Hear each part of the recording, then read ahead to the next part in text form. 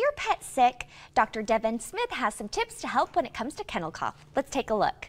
It's never fun to see your fur baby sick. I see dogs all of the time for coughing, and oftentimes, especially if I see many cases in a short period of time, we assume it's a kennel cough outbreak.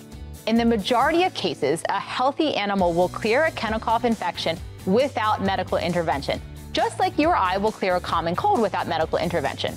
However, in cases where the coughing is persistent or there are other clinical signs like nasal discharge, lethargy, or inappetence, your veterinarian might recommend cough suppressants or antibiotics, or in some cases, a further workup.